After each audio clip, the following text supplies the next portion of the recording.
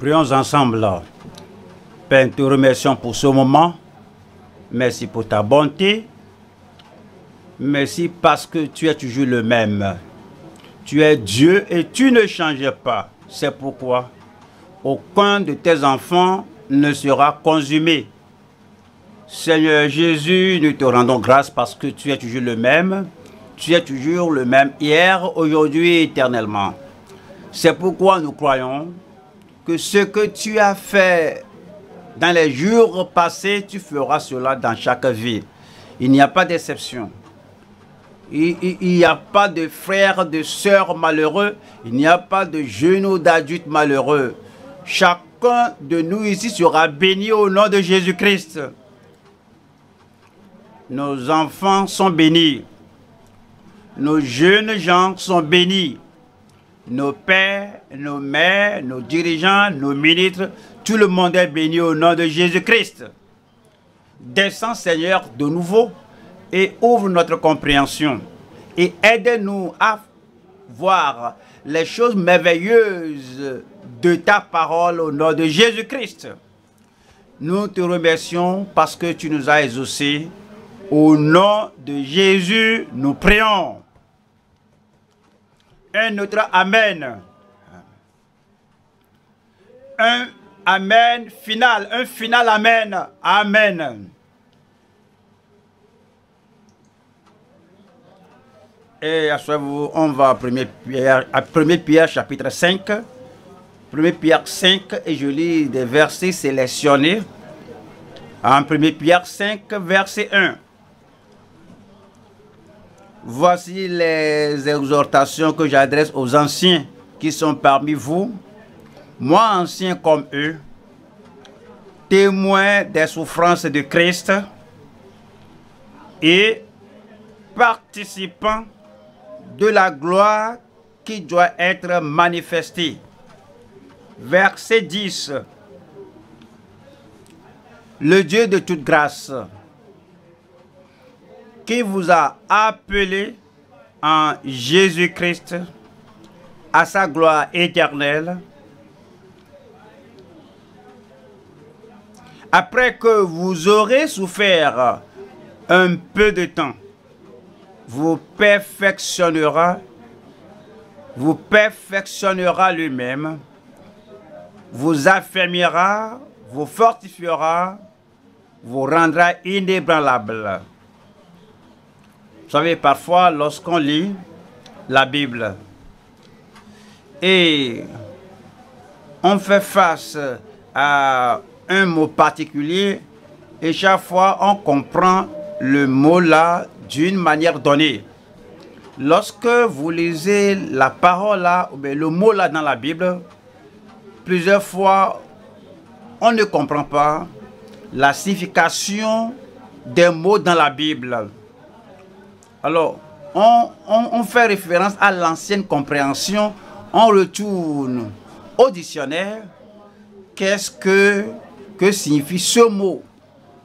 Et lorsque vous croyez connaître la signification, donc vous amenez cette, cette signification à la Bible et vous dites, voici ce que veut dire la Bible. Et vous continuez. Et tout ce que vous lisez après cela, alors vous ne comprenez pas. Et vous ratez les bénédictions, les bénédictions de Dieu. Dieu ouvrira nos yeux. Je ne raterai pas les bénédictions de Dieu. Je vous ai lu le verset 1. Au verset 1, il y a un mot là-bas. On a mentionné souffrance là-bas. Dans le verset 10, il y a aussi la mention du mot souffrance. Et puis, nous fermons la Bible, souffrance, souffrance. Il y a le mot ah, oh, souffert dans le verset 10. C'est comme toute la Bible est jonchée de souffrance. Alors, qu'est-ce qu'appelons-nous souffrance?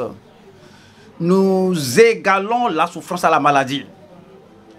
Avec l'attaque à, à l'affection à Satan et à tout le monde qui s'adresse, ou qui se dresse plutôt contre nous. Voyez encore le verset 1 qui dit, voici les exhortations que j'adresse aux anciens qui sont parmi vous. Moi, ancien comme eux, témoin des souffrances de Christ. Témoin des souffrances de Christ. Christ n'a pas souffert de maladie. Il n'a pas été victime du cancer, de la leucémie, de la tuberculose, de la cécité, de la surdité, de la paralysie. La souffrance de Christ, cela parle du calvaire, cela parle de la trahison, cela parle de ce que Jésus a traversé pour vous et pour moi. Il n'avait rien dont il faut souffrir pour lui-même, par lui-même. Les souffrances de Christ, de l'attaque des pharisiens et des sadducéens, non les attaques démoniaques, pas Christ, pas les attaques sataniques, ce n'est pas Christ. Et Pierre a dit que j'ai souffert j'ai souffert ensemble avec le Seigneur Jésus-Christ. Il était arrêté, et non, la maladie de Pierre. Il était incarcéré, emprisonné, et non, pour la maladie, nous parlons de Pierre. Pierre était mis en prison, et non, pour la maladie, ce dont il parlait ici. C'est la persécution qui qui s'était abattue sur les les ministres, les pasteurs, les évangélistes de l'église primitive et aussi sur les apôtres. Mais vous savez, les gens s'arrêtent à cela. Voyons ce qui suit. Et participant et participant. J'ai traversé les, les, souffrances de Christ et non la maladie, et non la maladie, non la maladie. Et puis, je suis devenu participant de la gloire. Qu'est-ce que cela veut dire? Lorsque Jésus était jugé, était éprouvé en tentation, à la fin de la tentation, l'ange est venu le servir. Et Pierre a dit, lorsque j'étais emprisonné, j'ai vu la gloire. La nuit, l'ange est venu. Alors il m'a frappé et toutes mes chaînes étaient tombées. Toutes vos chaînes vont tomber. Et puis, il m'a dit de me lever. Vous allez vous lever aujourd'hui dans la force de Dieu. Et puis, comme on, on allait, j'ai vu la gloire. Je n'ai rien vu de pareil. Comme on allait, et la guérite devant nous, la porte de fer, la porte métallique même, s'est ouverte. Il n'y a rien à marteler, il n'y a pas, il a rien dont il faut, il n'y a rien qui doit, qui doit pousser à crier. On, on ne doit rien faire et vos portes d'airain vont s'ouvrir. Et puis j'étais sorti je crois, mais je n'ai rien vu de pareil. Je croyais que c'était un rêve. Je croyais que c'était une vision. Mais le Seigneur a envoyé son ange. Et toute l'attente des Juifs me concernant, tout est envoyé, révoqué. Et toute l'attente de vos ennemis concernant votre vie. Tout, que tout disparaisse aujourd'hui au nom de Jésus-Christ. Aujourd'hui, comme nous voyons le passage euh, d'étude en 1 Pierre 5, je vous parle du thème la provision et le soin divin pour le, pour le troupeau fidèle de Dieu. La provision et le soin divin pour le troupeau fidèle de Dieu. On doit comprendre que du salut à la glorification, du commencement de notre vie chrétienne jusqu'à la fin, jusqu'à la fin de notre pèlerinage chrétien, Dieu a fait des provisions adéquates pour tout besoin dans notre vie. Il a fait des, il y a des provisions adéquates pour les besoins de votre vie. Nous allons voir la parole de Dieu qui est la provision et le soin divin pour le troupeau fidèle de Dieu. Nous allons voir trois points. Premier point, l'alimentation délibérée du troupeau précieux de Dieu. L'alimentation délibérée du troupeau précieux de Dieu. Deuxième point, l'exaltation promise de l'humble disciple de Christ. L'exaltation promise. Êtes-vous prêt pour l'exaltation L'exaltation promise des humbles disciples de Christ. Numéro 3. Le soin sacerdotal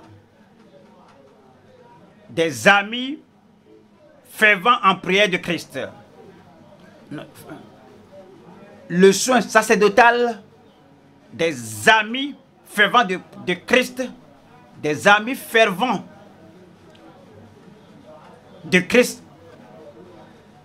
en prière. Des amis fervents en prière de Christ. Et nous venons à l'église, nous écoutons la parole de Dieu. Il y a un objectif. Nous lisons la Bible. Dans nos maisons, il y a un objectif. Nous prenons la parole de Dieu. Nous nous, nous, nous alimentons de la parole de Dieu. Il y a un objectif. Le prédicateur, le prédicateur se nourrit de la parole. Les membres, oui, se nourrissent de la parole de Dieu. À tout moment et partout, nous nous nourrissons de la parole de Dieu. Se nourrir de la parole de Dieu, il y a un objectif. Ne doit pas se nourrir et puis et rester le même, et, et rester faible, s'alimenter et rester sans foi, s'alimenter et demeurer faible. Vous n'allez pas demeurer faible. Voyons chapitre 5, verset 2 qui dit, Percez le troupeau de Dieu qui est sous votre garde. Percez le troupeau de Dieu qui est sous votre garde. Vous pouvez rendre témoignage que dans notre église ici, nos prédicateurs, nos ministres, nos dirigeants de section, à chaque réunion, à chaque opportunité, c'est ce qu'on fait. Percer le troupeau de Dieu. Allons à Jean. Jean 21, 15. La dernière partie du verset 15. Père mes agneaux la dernière partie du verset 16, Paix mes brebis. La dernière partie du verset 17, Paix mes brebis. C'est ce qu'on fait. Oui, des agneaux aux brebis, des membres aux ministres, des enfants aux jeunes, aux adultes. C'est ce que nous faisons. Nous perçons les agneaux, nous perçons le troupeau. Jean chapitre 6, verset 34. Jean 6, 34. Jean 6, 34. Il lui dit, Seigneur, donne-nous toujours ce pain. C'est ce que Jésus a fait. Il a nourri les gens, il, a nourri les gens de la parole de Dieu. C'est ce qu'on fait aujourd'hui. C'est le fait de nourrir les membres de l'Église de la parole de Dieu. Verset 63. C'est l'esprit qui vivifie, la chair ne sert de rien. Les paroles que je vous ai dites sont esprit et vie. Les paroles que je vous ai dites sont esprit et vie l'objectif de la parole, la puissance de la parole, lorsque cette parole de Dieu entre, cela va agir comme un esprit vivificateur. Cela agit comme un esprit qui renouvelle. Cela agit comme un esprit qui vient à vous et vous êtes ressuscité. Chaque faiblesse sera ôtée de vous. Et dans ce verset 63, ça dit, que la parole est la vie. Si vous avez des faiblesses, vous savez, il y a quelque chose de mourant dans votre vie, que la parole entre et vous allez reprendre vie. Et aujourd'hui, vous allez reprendre vie. Moi, je reprends vie. moi je reprends vie. L'objectif de l'alimentation, l'alimentation délibérée du troupeau précieux de Dieu, c'est pour vous réveiller, c'est pour vous ressusciter, c'est pour vous illuminer, c'est pour vous montrer la lumière et c'est pour vous fortifier. Vous mangez et vous devenez fort. Vous mangez, vous devenez fort. Et la parole, normalement, sans une autre chose, parfois, euh, parfois on a faim et presque euh, sur le point de, s'écrouler. Il n'y a pas de force, totalement, on est euh, faible. Et puis on vous, on vous appelle que c'est l'heure du petit déjeuner ou bien du déjeuner ou bien du dîner. Vous prenez la nourriture là et vous, vous prenez la nourriture là vous buvez de l'eau, vous êtes rafraîchi, ragaillardi, la faiblesse s'évapore, toute la lassitude, tout s'évapore. La même chose avec la parole de Dieu. Lorsque vous prenez de la parole de Dieu, lorsque vous prenez la parole de Dieu et que la, et vous prenez l'eau de la parole, cela rafraîchit votre vie. Vous ne serez plus les mêmes au nom de Jésus-Christ. Acte des apôtres, acte 20, verset 28. Prenez donc garde à vous-même et à tout le troupeau. Combien de personnes dans le troupeau? Combien de personnes en nourrissons, en alimentons-nous dans le troupeau? Mais combien, de, combien de personnes? Est-ce que vous faites partie de tout le troupeau? Tout le troupeau. Et l'objectif de l'alimentation sera atteint dans votre vie au nom de Jésus-Christ. Prenez donc garde à, vous-même et à tout le troupeau sur lesquels le Saint-Esprit vous a établi avec pour paître l'église du Seigneur. Pour paître l'église du Seigneur. Pour paître l'église du Seigneur. Qu'il s'est acquise par son propre sang. Le troupeau acquis par son propre sang plusieurs fois, plusieurs personnes ne parlent pas comme s'ils savent qu'ils ont été acquis d'un grand prix. Et ben, nous, on ne peut pas dire que on est acquis par la société. Il y a quelqu'un qui vous a tenu en captivité, voulant gâcher, détruire votre vie. Et vous étiez sans aide et vous étiez sans bien. Mais maintenant Jésus, avec son sang, est venu vous ravir, vous arracher de la main de celui-là qui vous a tenu en otage. Et il vous a acquis, racheté par son propre sang. Il vous a acquis de la main de quel il vous a acquis, racheté de la main de qui? Je vous ai, je vous dis, il vous a acquis. De quelle main? De la main de qui? De la main de Satan. Et n'a pas décidé et ne va jamais décider. Et que je t'ai acheté, je t'ai racheté parce que tu es précieux, que je te, je te retourne au diable. Va-t-il faire cela? Pourquoi Vous allez passer par là et vous dites que que Satan ne veut pas me laisser en paix, mais je crois que tu es acquis. Mais moi, je crois que tu as été secouru. Moi, je crois que tu as été racheté. Et que tu n'es plus un bien de Satan. Regardez-moi ici. Je ne suis pas un bien de Satan. Même les cheveux de votre tête sont tous comptés oui, vos ongles sont tous comptés. Et les cellules dans votre organisme sont tous rachetées par le Seigneur. Vous n'allez pas retourner à Satan. Le troupeau de Dieu qu'il a acquis, il est acquis par son propre sang. Il faut le nourrir.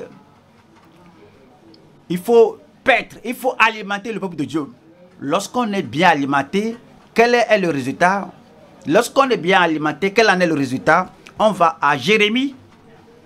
Jérémie, chapitre 3, Jérémie 3, 15. Jérémie 3, nous lisons le verset 15. Je vous donnerai des bergers selon mon cœur. Je vous donnerai quoi? Des bergers selon mon cœur. Si Dieu nous donne un pasteur, il nous donne le pasteur là selon son cœur. Si quelqu'un choisit quelqu'un et Dieu ne s'y implique pas et dit que, va diriger l'église là, si la main de Dieu n'est pas là, si c'est pas le choix des hommes, si c'est par l'élection, si c'est par la propagande, donne un, un pasteur et donne tel pasteur, ce monsieur, et ce monsieur-là leur a été donné, ce monsieur-là n'est pas selon le cœur de Dieu. Mais lorsque Dieu décide de nous donner un pasteur, ce pasteur sera selon son cœur. Et ils vous, dites-le moi, et ils vous paîtront avec intelligence et avec sagesse. Et ils vous paîtront avec intelligence. L'intelligence ou la connaissance de ce que Christ a fait. La connaissance de qui Christ est. Jérémie 15, verset 16. 15, 16. J'ai recueilli tes paroles et je les ai dévorées. J'ai recueilli tes paroles et je les ai dévorées. Lorsque vous trouvez la parole de Dieu et que Dieu vous donne un dirigeant, un pasteur, un enseignant, et il vous enseigne la parole de Dieu selon sa pensée, alors vous allez trouver cette parole-là, vous la mangez et vous serez fort. Vous serez juste. Vous aurez l'assurance. Vous allez tenir ferme, avec stabilité et avec force. Vous serez comme un, rocher inébranlable au nom de Jésus-Christ. J'ai recueilli tes paroles et je les ai dévorées. Tes paroles ont fait la joie et l'allégresse de mon cœur. Comment pouvez-vous venir dans la maison de Dieu et vous écouter tout ce que le Seigneur vous a pourvu de la part de Dieu et vous prenez la part de Dieu et vous êtes toujours resté triste, vous êtes resté lourd, larmoyant, les autres rentrent chez eux, se réjouissant, toi tu es dehors là-bas. Et les, les, sentinelles, les, les, les, sentinelles, les surveillants te prennent, ils te tirent. Tu es que je suis misérable, on ne me permet pas de voir tel, tel monsieur. Tu n'es pas misérable tu n'as pas accepté la parole de Dieu. Lorsque tu prends la parole de Dieu, la joie va rentrer dans ta vie. Ton échec va se changer en succès. Ta maladie va partir et toutes les infirmités et tous les pouvoirs de Satan, Satan contre ta vie seront brisés au nom de Jésus-Christ. Tes paroles ont fait. J'ai recueilli tes paroles et je les ai dévorées. Tes paroles ont fait la joie et l'allégresse de mon cœur, car ton nom est invoqué sur moi, éternel Dieu des armées. Je suis appelé par le nom de Dieu. Je suis appelé par le nom de Dieu. Voyons Jérémie, Jérémie 23, Jérémie 23, verset 4. J'établirai sur elle des pasteurs qui les paîtront. J'établirai sur elle des pasteurs, au des pasteurs, non seulement ici au, à l'église centrale, dans nos groupes, dans nos districts, dans les annexes, j'établirai sur elle des pasteurs qui les paîtront, des pasteurs qui nous paîtront Voici ce qui suit. Verset 4, j'établirai sur elle des pasteurs qui les paîtront Qu'est-ce qui suit là-bas? Dites-le moi. Dites-le moi. Qu'est-ce qui suit là-bas? Elles n'auront plus de crainte, plus de terreur. C'est la parole. Ne parlons pas de prière. Nous ne parlons pas d'invoquer, d'appeler quelqu'un. Ne parlons pas d'envoyer un, sauce à Dieu. Seulement se nourrir de la parole de Dieu. Parce que tout ce que la parole dit sera accompli. Tout ce que la parole proclame sera réalisé dans chaque vie au nom de Jésus-Christ. Uniquement l'alimentation de la parole de Dieu. Et c'est dit qu'elles n'auront plus de crainte. Dans votre vie, il n'y aura plus de crainte. Dans ma vie, il n'y aura plus de crainte. Dans votre famille, il n'y aura plus de crainte. Dans votre lieu de travail, il n'y aura plus de crainte. Lorsque vous, vous écoutez la parole de Dieu, comprenez que le Dieu Tout-Puissant a, a déterminé, a décidé chaque détail de votre vie. L'ennemi ne peut pas décider votre vie. Si l'ennemi essaie, l'ennemi gâche son précieux temps. Votre vie est dans les mains du Dieu Tout-Puissant. Et c'est dit, et c'est dit, elles n'auront plus de crainte, plus de terreur. Vous ne serez pas terrorisés, vous ne serez pas terrifiés. Et c'est dit, et il n'en manquera aucune, dit l'Éternel. Dit l'Éternel. Dit l'Éternel. Qui a dit que vous ne manquerez de rien? Qui a dit ça? Je dis, qui a dit que vous ne manquerez de rien? Qui a dit ça? C'est le Dieu Tout-Puissant qui l'a dit. Et c'est accompli. On va au psaume. Psaume 107.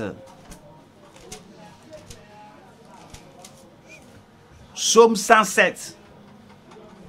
Je lis le verset 20. Il envoya sa parole Qu'est-ce qui suit là-bas? Il envoya sa parole et il envoya sa parole et les guérit. Il les fit échapper de la fosse. Vous êtes délivré. Vous êtes guéri. C'est seulement la parole. Dis seulement un mot et mon serviteur sera guéri. Vous êtes guéri au nom de Jésus-Christ.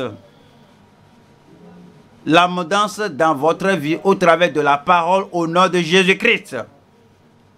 Deuxième point maintenant. L'exaltation promise de, des humbles disciples de Christ. L'exaltation promise des humbles disciples de Christ. Retournons à 1 Pierre, chapitre 5, verset 5. De même, vous qui êtes jeunes, soyez soumis aux anciens. Et tous, dans vos rapports mutuels, Revêtez-vous d'humilité, car Dieu résiste aux orgueilleux, mais il fait grâce aux humbles. Mais il fait grâce aux humbles. Avez-vous remarqué là-bas Il y a deux catégories de personnes. Il y a les orgueilleux. Ils perdent tant de choses. Dieu, Dieu leur résiste. Dieu les éloigne de lui-même. Mais l'autre catégorie, les humbles, Dieu leur donne plus de grâce. Dieu vous donne plus de grâce. Verset 6. Humiliez-vous donc, humiliez-vous donc, à cause de ce qu'il donnera aux humbles à cause de ce qu'il fera pour les humbles, à cause de l'exaltation qu'il amènera aux humbles, C'est dit, humiliez-vous donc sous la puissante main de Dieu. Vous ne serez pas sous la puissante main mystérieuse de Satan. Satan ne sera pas autour de vous. Satan ne sera pas sur le toit de votre maison. S'il y a, un bruit là-bas, peut-être, euh, ou c'est le vent qui souffle quelque chose là-bas, le vent n'est pas Satan. Satan ne sera pas sur le toit de votre maison. C'est dit, humiliez-vous donc euh, sous la puissante main de Dieu. Vous serez sous la puissante main de Dieu.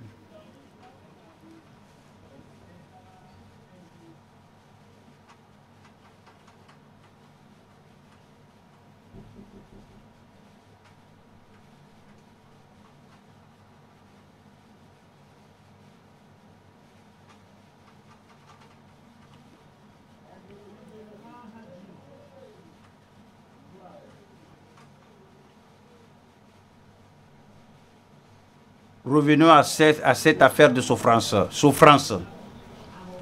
Plusieurs ne comprennent pas.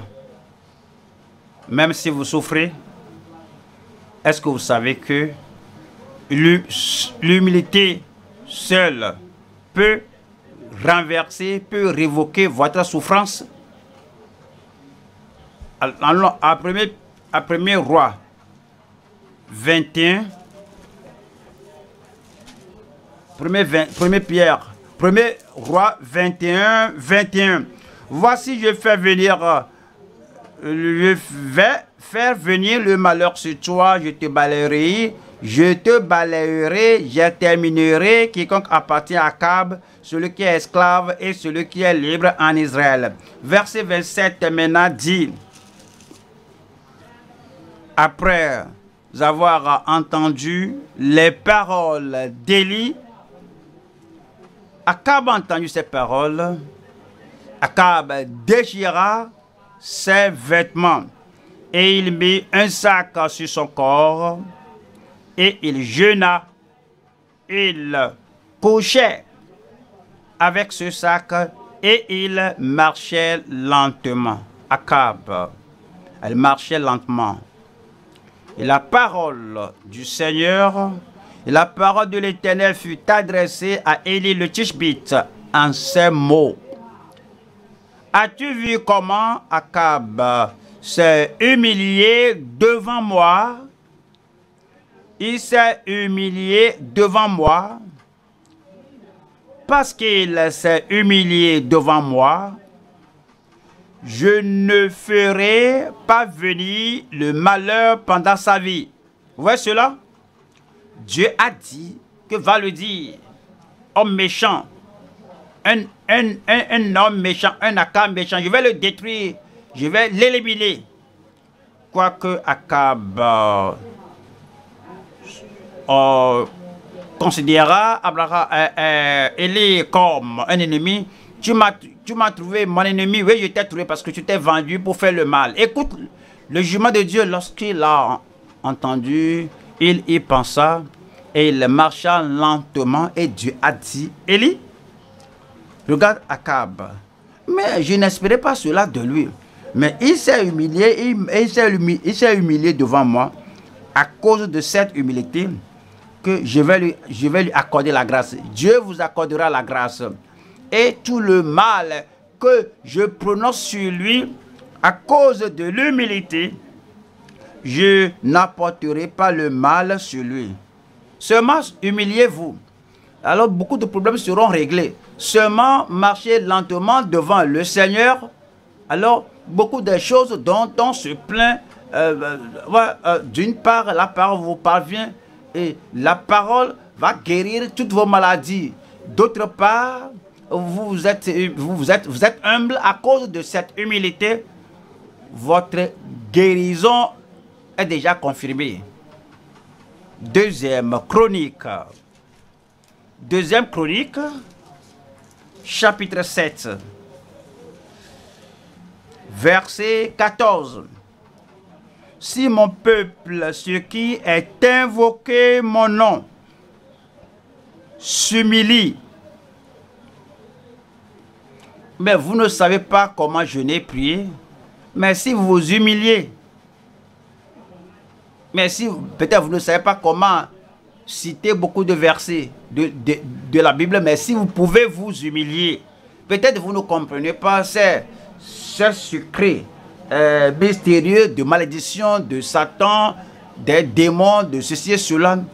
Mais si vous pouvez simplement vous humilier, et si mon peuple, ceux qui est invoqué mon nom, s'humilie, prie la façon dont ils, le savent, et cherchent ma face de leur manière, comme ils le savent, et se détournent de ces mauvaises voies, je l'exaucerai des cieux.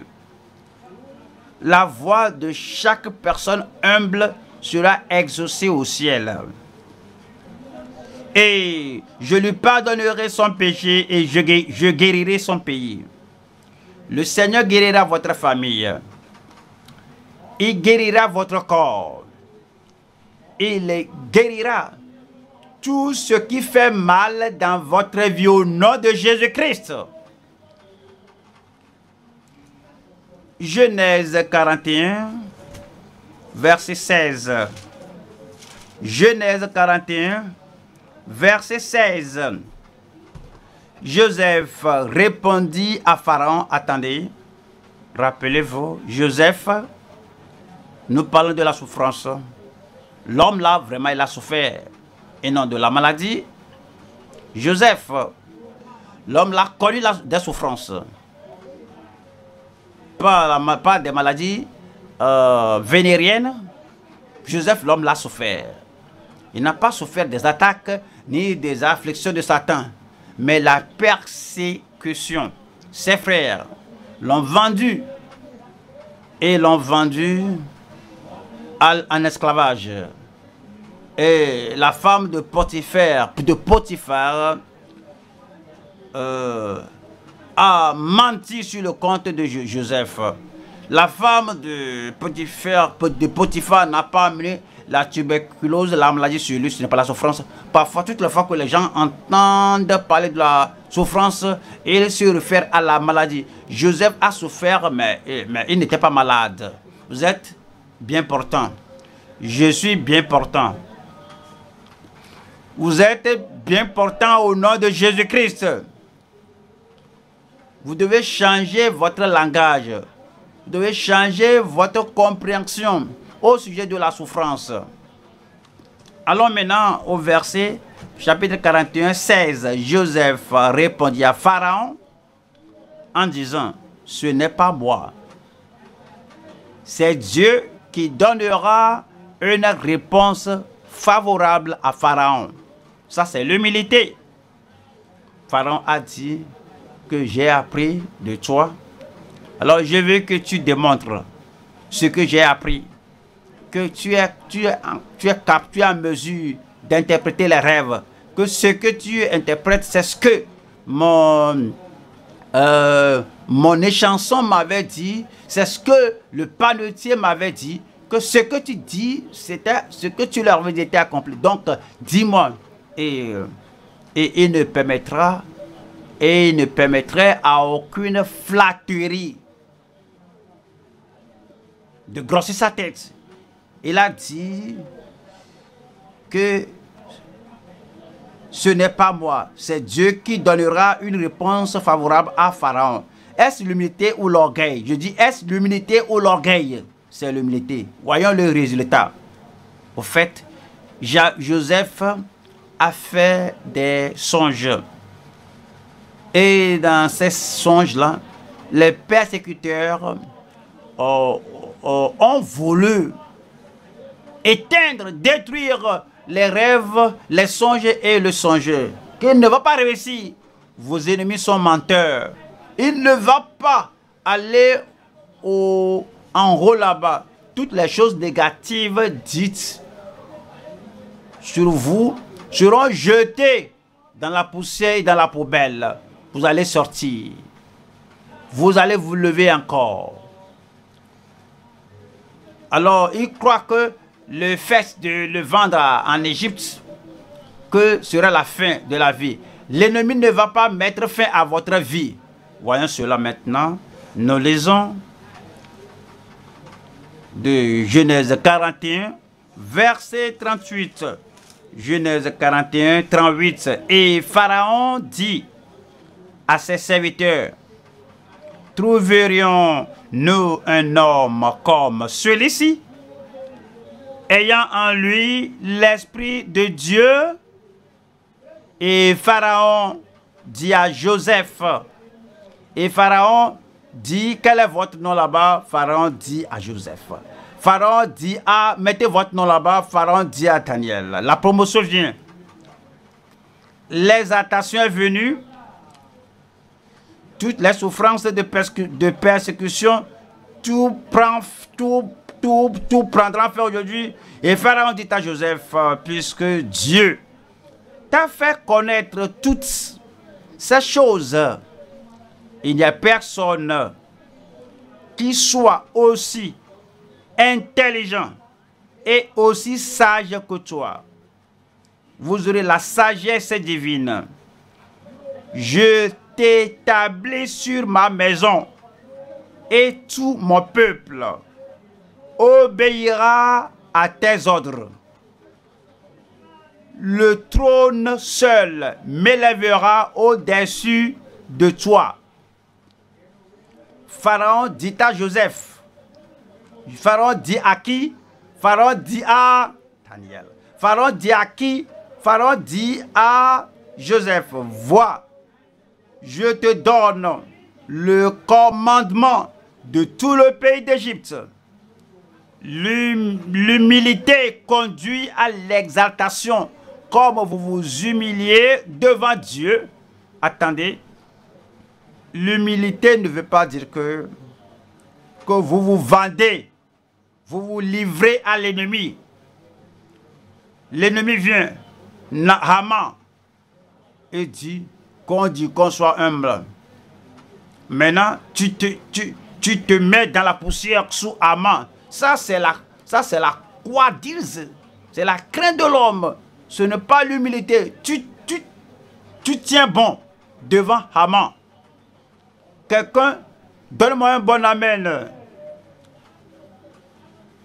Haman, ennemi de la justice, ennemi des Juifs, ennemi du progrès, ennemi qui se vante, qui pense t'éliminer. Si tu crains et tu fléchis parce que, parce que dit que je vais l'éliminer, ça ce n'est pas l'humilité, c'est la crainte. Tu as peur. Ah, ils m'ont dit qu'ils vont, ils vont me tuer, mais ils ne peuvent pas te tuer. Regardez-moi ici. Est-ce qu'ils peuvent me tuer? Tout ce qui ne peut pas me tuer ne peut pas vous tuer.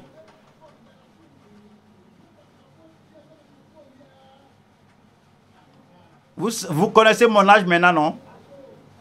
Vous saurez aussi sage que vous serez au, plus âgé que moi, vous serez plus âgé que moi, vous serez plus âgé que moi au nom de Jésus-Christ.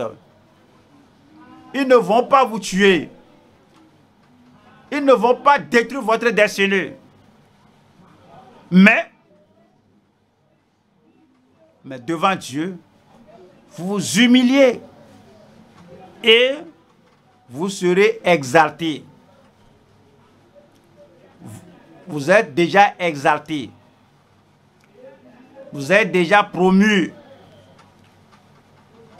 Vous avez entendu parler de la, de, de la loi, la loi de gravité. Comment je peux vous l'expliquer?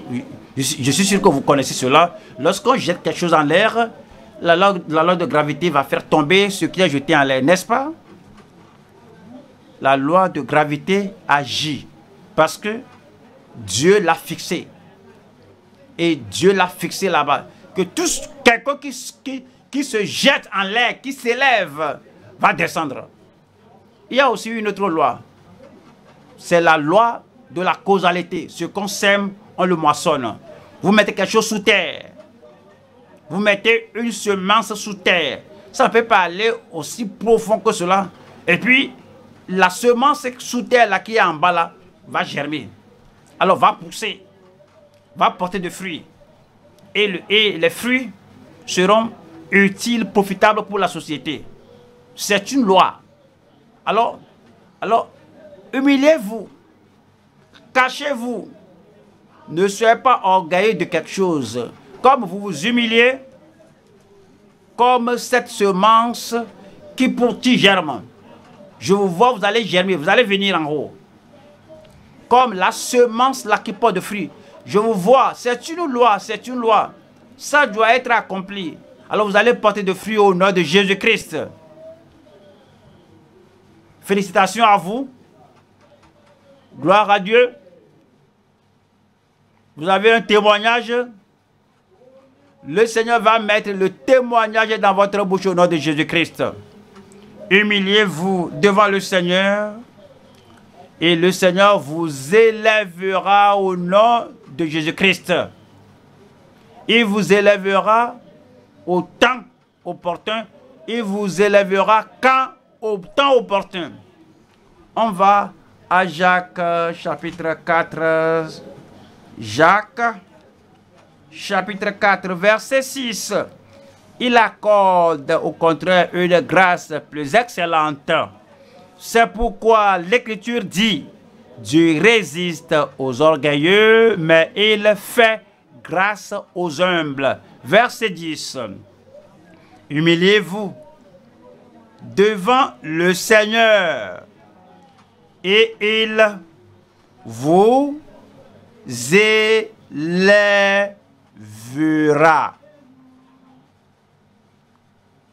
Il vous élèvera. Lorsque Dieu dit oui, personne ne peut dire non. Il ne faut pas penser à votre famille, euh, de votre village, vous pensez de ce qui s'est passé euh, sur tel cousin, tel frère, ce qui s'est passé sur tel frère. Dieu vous a distingué. Il vous élèvera au nom de Jésus-Christ. Troisième point maintenant. Le soin sacerdotal des amis de Christ qui prient. Des amis de Christ qui prient. 1 Pierre 5, verset 7. Et déchargez-vous sur lui comme de soucis, de tous vos soucis, car lui-même prend soin de vous. Vous savez, il faut parler disant que je, que que je n'ai personne, mais, mais vous avez Dieu, mais tu as Dieu, tu as Christ, tu as le Saint-Esprit, tu as les promesses de Dieu, tu as la puissance du Saint-Esprit, tu as l'héritage au ciel. Et tu as ton Sauveur, l'Esprit, le Consolateur, demeurant avec toi. Tous vos soucis sont pris en charge et déchargez-vous sur lui de tous vos soucis, car lui-même prend soin de vous. Il vous appelle ami. Allons à Jean 15. Jean chapitre 15. Je lis verset 13. Jean 15. Jean 15. Nous lisons le verset 13. Voici ceci. Il n'y a pas de plus grand amour que de donner sa vie pour ses amis. Que de donner sa vie pour ses amis. Regardez ici. Disons que quelqu'un est emprisonné. Et déjà il a été, il a été condamné à une réclusion à vie. Dans cette réclusion à vie, on ne le permettra pas de mourir paisiblement. Il sera prié et tué de façon violente. Mais quelqu'un surgit et dit, mais je vais payer le prix pour toi, je vais payer ta rançon. Quelque chose qu'il a fait, que je vais défaire cela. Et puis, et cette personne est libérée de la prison où il avait il est condamné à réclusion, à une réclusion à vie, après être sorti de la prison, alors, alors il a besoin d'un morceau de bain, de pain. La personne qui a payé le grand prix pour le libérer de la prison, peut-il lui donner un morceau de pain? Bien sûr que oui. Maintenant, il a besoin de vêtements pour se vêtir. Celui qui l'a libéré d'une réclusion à vie, peut-il lui donner des habits pour se couvrir? Bien sûr que oui. Il a besoin d'un hébergement. Oui, une chambre quelque part. Un abri. Et celui qui l'a racheté et qui l'a fait sortir, qui a payé sa rançon pour euh, le faire sortir de, cette réclusion à vie, peut-il lui donner euh, un abri? Le Seigneur Jésus-Christ vous a acquis, vous a racheté, vous a fait ôter d'une réclusion à vie de la souffrance éternelle. Et maintenant, il a payé le prix par son sang précieux. Peut-il vous donner, va-t-il vous donner le petit déjeuner? Va-t-il vous donner les habits? Va-t-il vous donner le succès? Va-t-il vous donner la prospérité? Va-t-il vous donner tout ce dont vous aurez besoin? Il le fera. Et vous appelle ami. Jésus m'appelle ami. Jésus m'appelle, vous appelle ami. Quelqu'un dérange quelqu'un.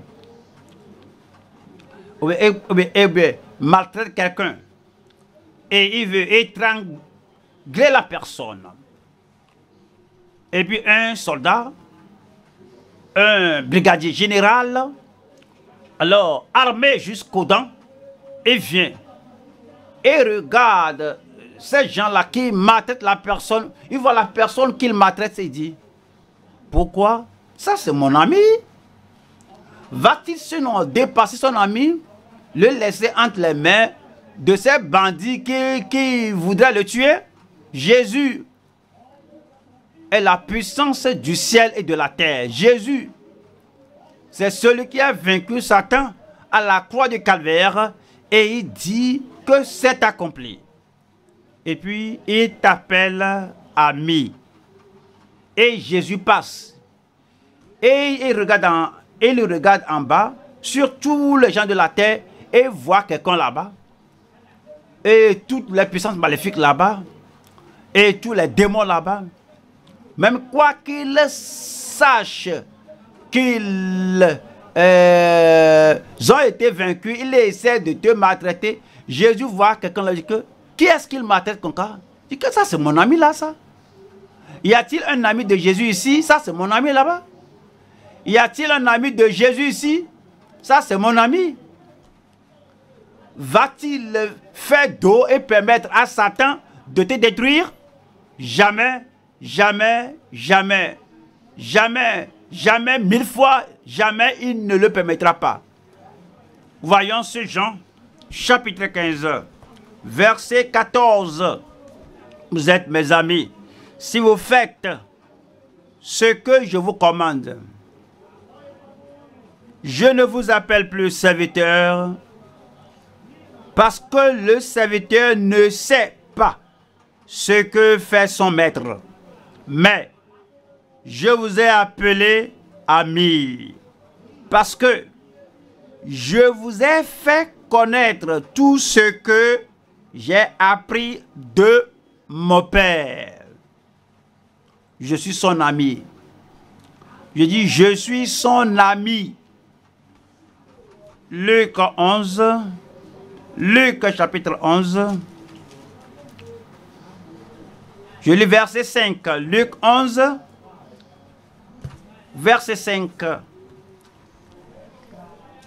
Il leur dit encore, si l'un de vous a un ami et qu'il aille le trouver au milieu de la nuit pour lui dire, ami, prête-moi trois pains, car un ami, car un de mes amis est arrivé de voyage chez moi et je n'ai rien à lui offrir.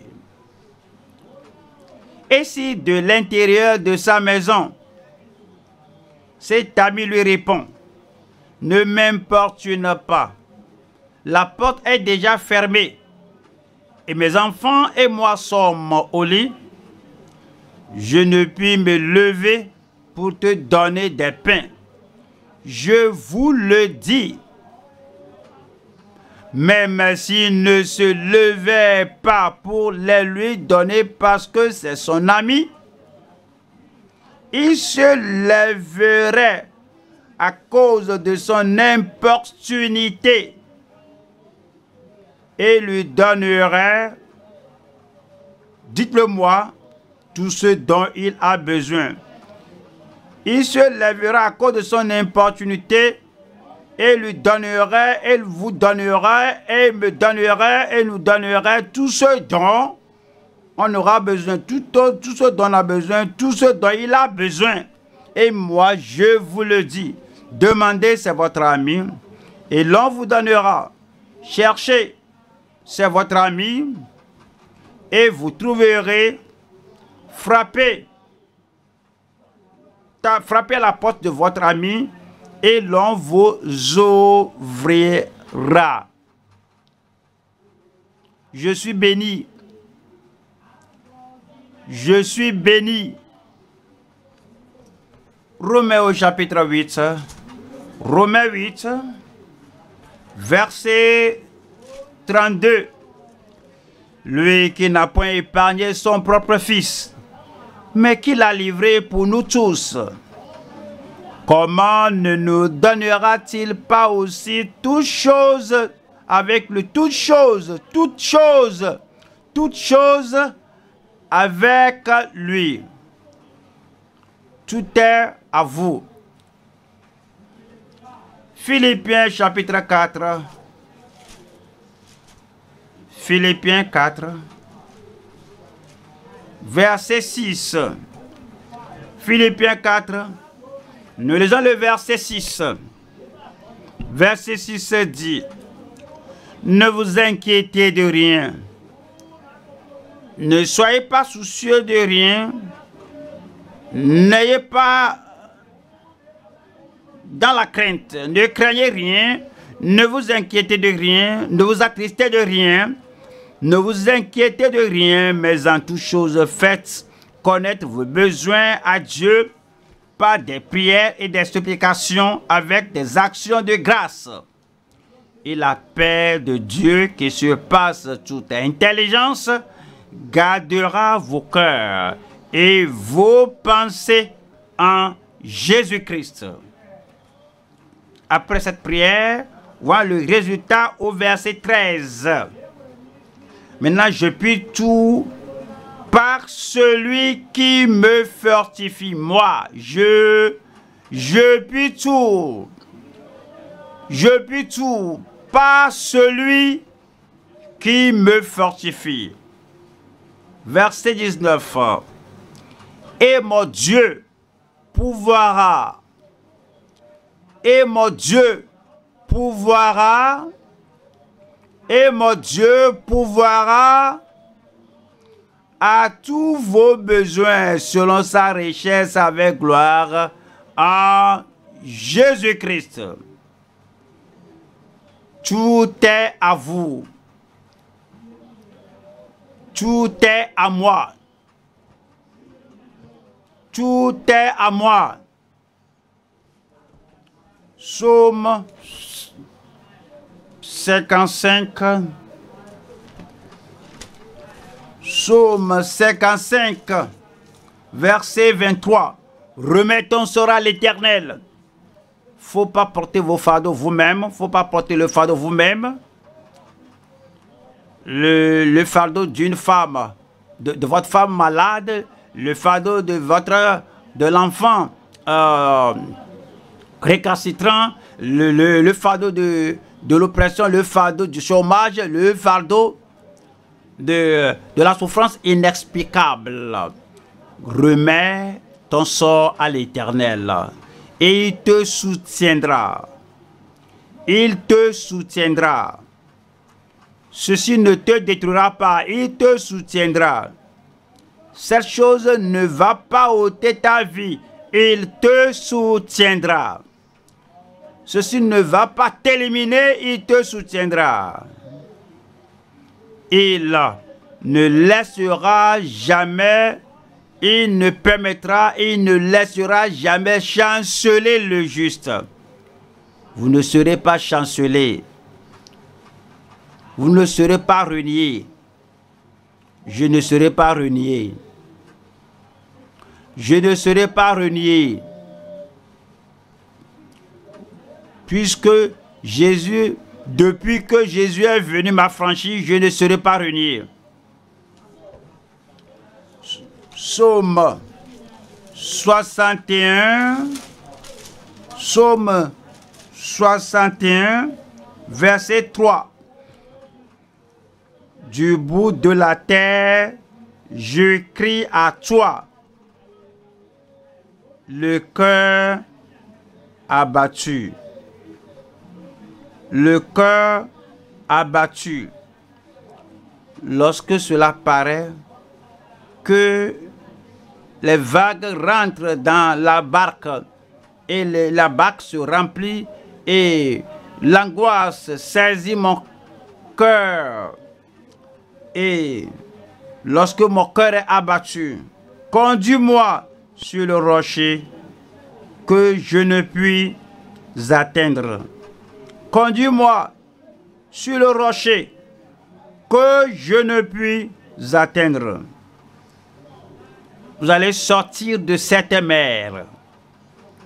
Vous allez sortir de cet océan plus élevé, plus élevé. Où êtes-vous plus élevé? Où êtes-vous plus élevé? Je me réjouis avec vous.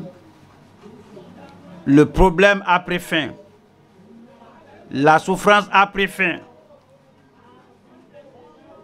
Le déluge écrasant du diable a pris fin au nom de Jésus-Christ. Plus élevé, plus haut, plus haut, plus haut. Dites-le au Seigneur, le Seigneur va vous élever. Dites-lui, dites-lui, il vous élèvera. Parlez au Seigneur. Plus, plus haut, il n'y a plus de problème qui ne puisse résoudre. Plus haut, il n'y a pas d'âme qui ne puisse se sauver. Plus élevé, il n'y a pas de dépression qui ne puisse ôter. Plus élevé, plus haut, il n'y a pas de souffrance qu'il euh, ne puisse ôter. Il n'y a pas de problème qui ne puisse résoudre.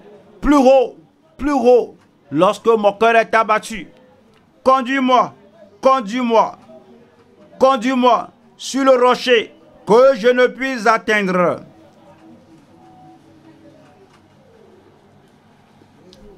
Que vous êtes une personne privilégiée.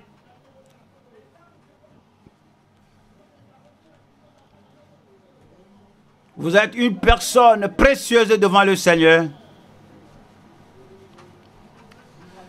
Vous êtes une personne bien heureuse devant le Seigneur. Le Seigneur vous élève plus haut.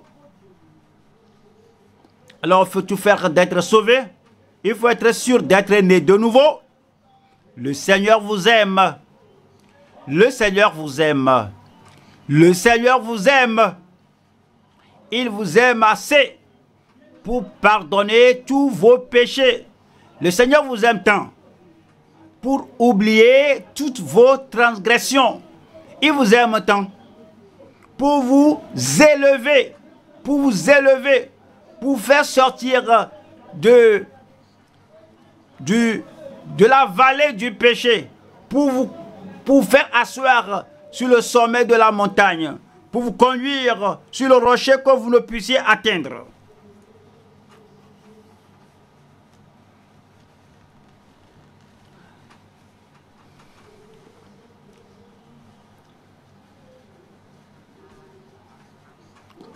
Le Seigneur vous a exaucé.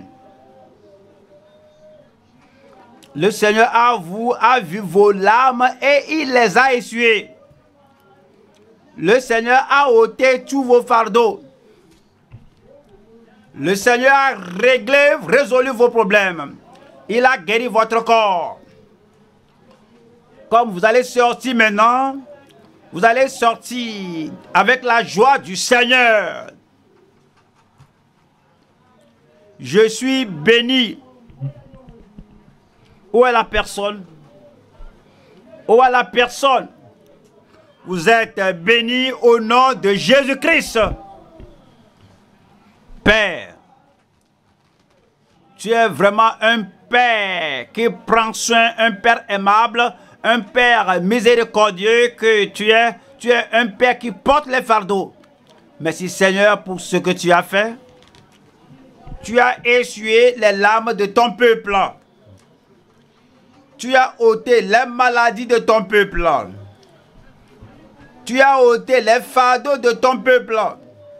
Frère, le Seigneur t'a exaucé. Sœur, ma fille, vos problèmes sont réglés.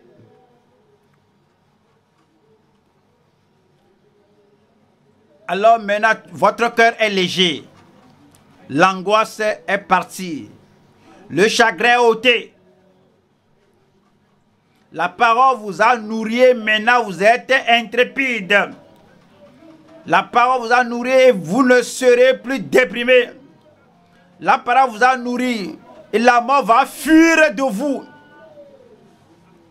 La parole est venue à vous et toutes vos maladies sont guéries au nom de Jésus-Christ.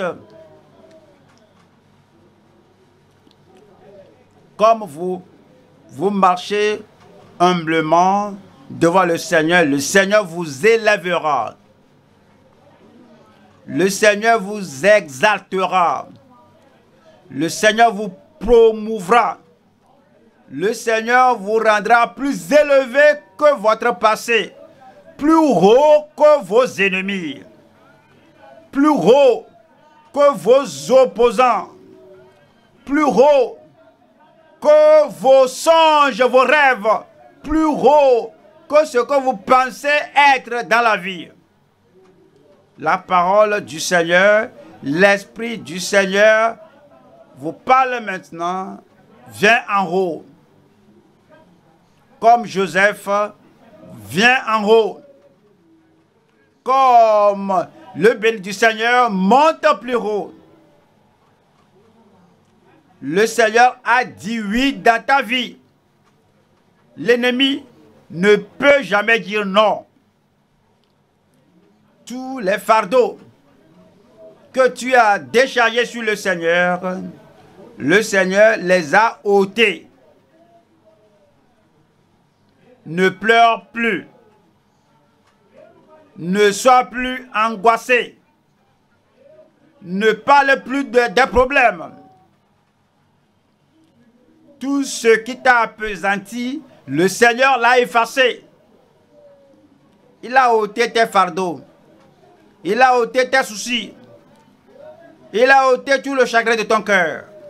Va maintenant dans la joie du Seigneur. Le Seigneur a mis le témoignage dans ta bouche. Le sourire sur tes lèvres. La joie dans ta vie. Comme vous allez, les gens verront la gloire de Dieu sur votre vie. Plus haut, plus haut,